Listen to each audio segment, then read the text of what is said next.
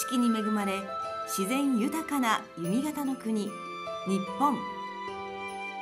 この国は周囲を5つの海に囲まれ海上交易と漁業によって経済に恵まれ高い水準の文化を育んできました。この国のほぼ中心に位置する熱田。古の伝説から現在までの道のりは未来へと続く。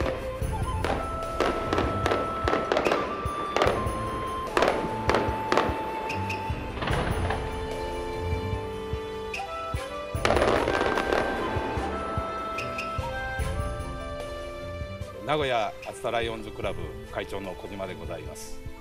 名古屋熱田ライオンズクラブは、え、長年にわたり、え、地域の奉仕活動を行ってまいりました。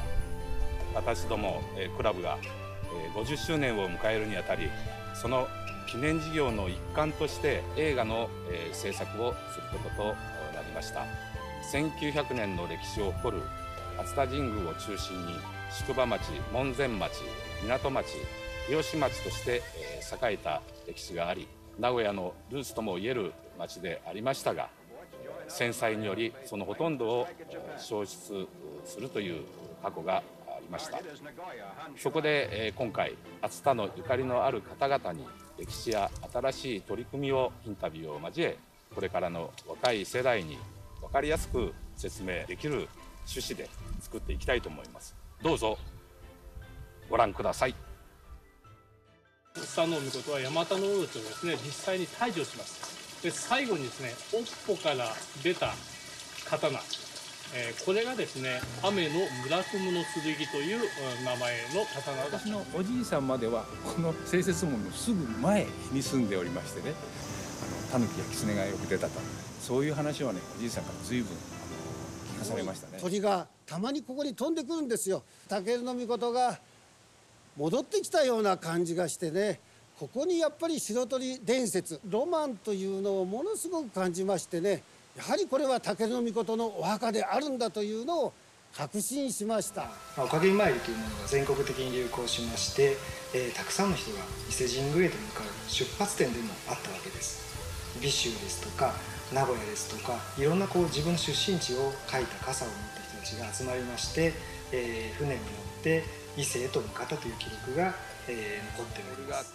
えー、草木も生えていて自然がいっぱい残っているというね、えー、子供の頃から遊びでございました、うん、暑さというところは、えー、私は尾張の聖地であり日本の聖地でもあるというふうにまあ考えるようになりました。都々逸というとまあ江戸の粋のように言われておりますがあの粋な歌は、えー、熱田発のものなんでございます。でタイヤお腹といって終生このえー、合同詞つまり都々逸節を歌ったということであります、はい、なんかこんなような絵を見て見つけてきたんですけど、はい。はい、クジラが来たよというとにすぐ船を出して、はい、でクジラをあの漏れかけ沖で捕獲して、でそれを解体してもうこちらへ持ってくる、まあ堀川のぎゅっと登ってきたことは事実みたいだけど。うなぎとご飯を混ぜるまぶすっていうのでひつまぶしっていう名がついたんですね。まあお茶漬けにしたらどうだろうっていうことでお出汁を考えまして